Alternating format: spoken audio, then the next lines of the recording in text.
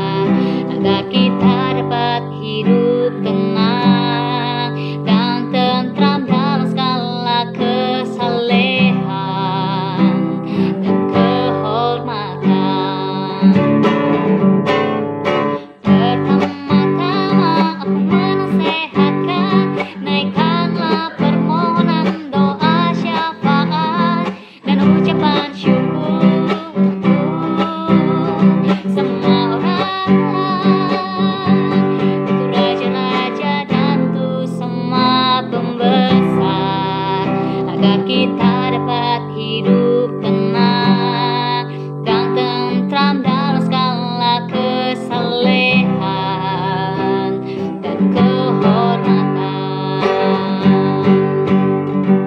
Itulah yang baik dan yang berkenan kepada Allah, juru selamat kita. Yang menghendaki supaya semua orang diselamatkan dan memper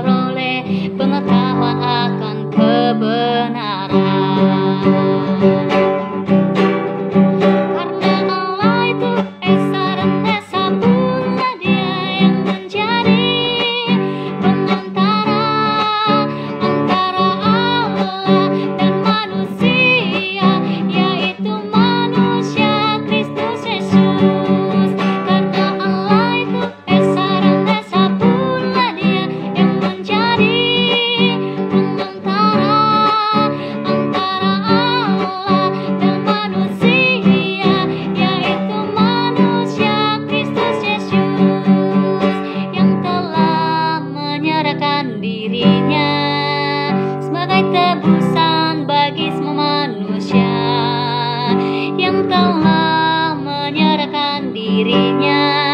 Jadi kesaksian